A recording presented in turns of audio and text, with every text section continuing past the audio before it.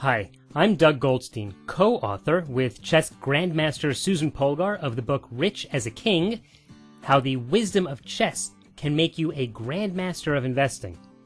In the book, Susan and I advise against using average annual return for financial planning. What is average annual return? Why is it a bad idea to use it for financial planning? And what's the amazing tool that expert financial planners use for making financial plans.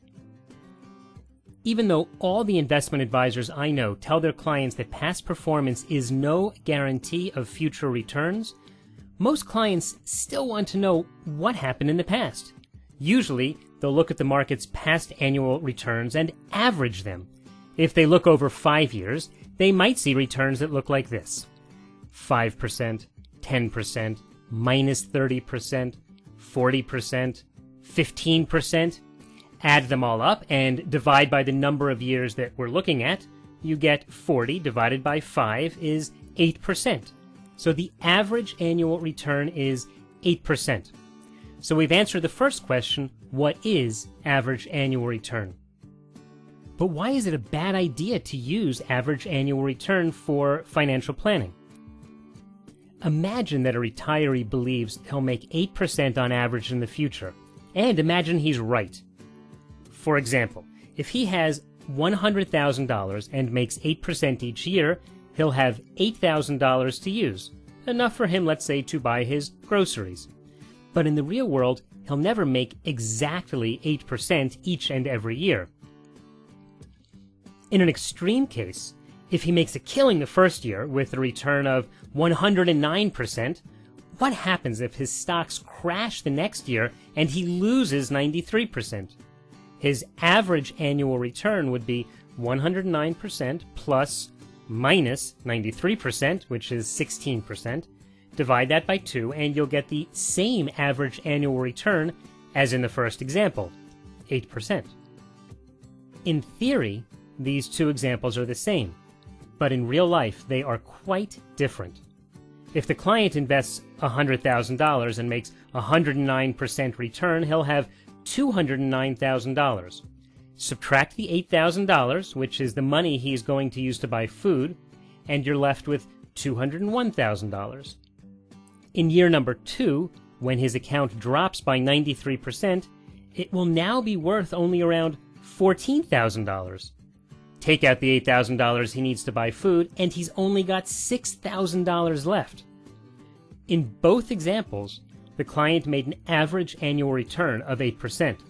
But because of the volatility of the market, in the second case, the client was basically wiped out. So even if our retiree had assumed correctly that he would make 8% on average, and by the way, who really can predict the future anyway? His plan still didn't work out. It's a bad idea to use average annual return for financial planning because the results don't necessarily reflect reality. So let's answer our third question. What's the amazing tool that expert financial planners use when making financial plans? The name of the statistical tool is called a Monte Carlo simulation. It's not only used in the world of money, but also for decision making in the fields of energy, engineering, space exploration, environment, and more. It was first used by the scientists working on the atom bomb, and it was named after the Monte Carlo casino, where one of the scientists' uncles often gambled. Anyway, a Monte Carlo simulation builds not just one model for a possible future, but it tests hundreds or, or thousands or tens of thousands, maybe even millions of possible models. As no one can realistically predict the future, it simply tells you the odds of success. Here's a basic example. Let's say you have an investment portfolio that has a third in stocks, a third in bonds, and a third in cash. The Monte Carlo computer engine then comes up with a random number for how your portfolio might do in the first year, the second year, the third year, and onwards. It then tests to see if, based on that series of returns, you would have enough money to pay the bills every month. Then the Monte Carlo simulation re randomizes the returns and again tests to see if you have enough money to pay the bills every month for the rest of your life. One series of returns might look like this minus 5%, 12%, 2.3%, 4.6%, minus 29%, 14%. You can see how this looks almost like the possible returns of a real portfolio. Another portfolio might look like this 6%, 2%, 18%, minus 11%, minus 16%, 9%. The list goes on and on, and you can test as many models as you like. Normally, we'll test a few thousand different possibilities and then ask this question. Of the thousand models we ran, what percentage of them were successful? Would you feel comfortable if we found that 90% of the trials that we ran for you were successful? What if only 10% of the trials we ran were successful? Well, then you'd need to make some radical changes in your investments or in your spending habits. The Monte Carlo simulation makes for a better financial plan than using average annual return because it's much more flexible.